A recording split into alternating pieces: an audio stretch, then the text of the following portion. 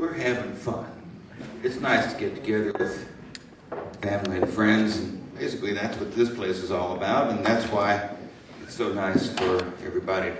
Thank you. Well, we thank you for all coming and supporting this.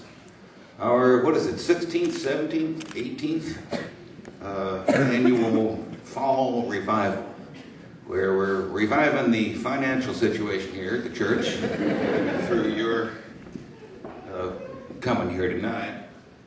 And we're starting out on a family tour that uh, we're going to be on until the middle of next May.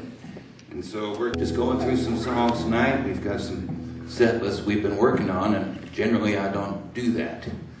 But with so many of us and my memory the way it is, good to have one.